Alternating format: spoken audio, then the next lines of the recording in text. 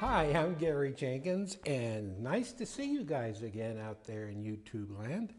Today we're going to do another one of our little mini paintings that uh, goes rather fast, rather quickly, maybe five or six minutes, just to give you an idea of what uh, this kind of painting wet into wet is all about. I'm using our new paint, beautiful paint called, it's Pigment Power Paint. 14 tubes. It's got more pigment in it than you'll find any place else, believe me. And this is why you'll see this painting pop off of here. We're going to take some deep burgundy. We'll paint some roses. The background is acrylic, uh, black and white, which just makes a gray. And that's what's back there. And it's dry. It's not wet. Painting a rose, boy, this painting. There's so much uh, pigment in it that just a little bit of it, and I could just take that little bit and spread it around. It just doesn't lose its intensity. We're going to take some orange and yellow, and we're going to find the top of it. Boom, boom, boom. Wipe the brush. This is called the belly of the rose. And that goes in there, a little white on top, just a, oh boy, look at that.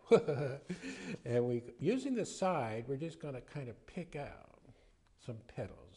Now, go out and get yourself some real roses, or if you have a garden, you're lucky enough to have a garden, uh, take a look at uh, the real thing because it really does help to have real flowers to look at. We're just going to kind of indicate that there's some petals back here, just sort of a half circle, look at it go. So we're just getting a feeling of the rose.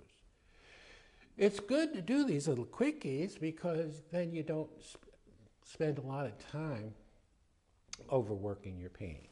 So we have a little guy in there and we're going to take a little black and yellow, make it dark green, and maybe we'll have some little guys, little leaves coming in down here. See? See how easy it is? And, and, if you have a question and you're wondering, well, what should I do? Always look at your flower. It always gives you the answer as to what to do. Because, and a rose, again, is the most difficult flower to paint. But just follow along with me and it'll happen for you. We're going to just take a little of this magenta and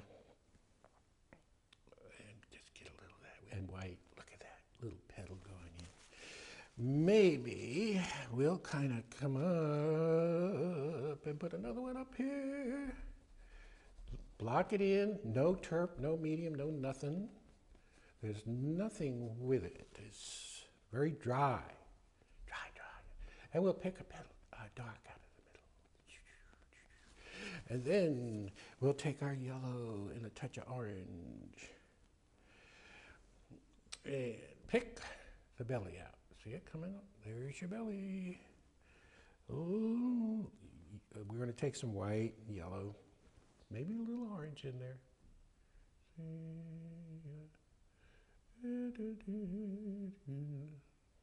Man, you can see it looks like a flower already. These are foreshortened edges that are coming out. See? So you use a push down, pull up stroke. Push down and pull up to get those petals and just sort of indicate that there's something, little half circles, don't make a big deal. It's just a feeling of the flower, that's all we're after.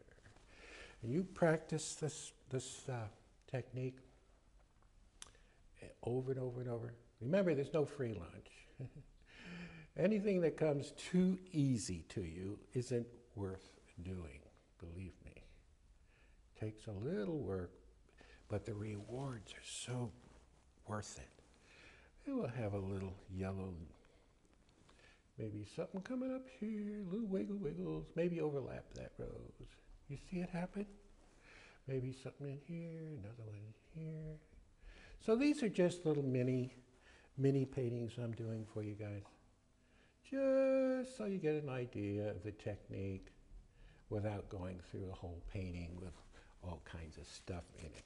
But I, I really like these little minis. Try to do these little minis. Paint them as quickly as you can, and that'll keep you, woo, from overworking. Remember, this is pigment power paint. Uh, Jenkins Pigment Power Paint.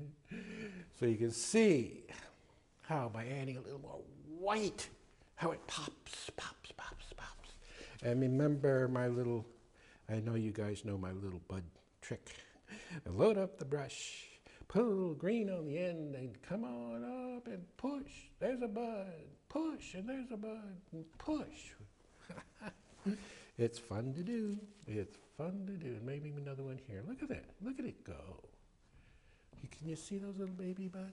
Fun. Well, there you are, guys. Just a little mini painting for you to practice. Uh, don't forget, I put black and white, made a gray acrylic, and this was dry in the back. And this is just another one of our Jenkins little quickie paintings for you guys on YouTube. Take care, and I'll see you next time.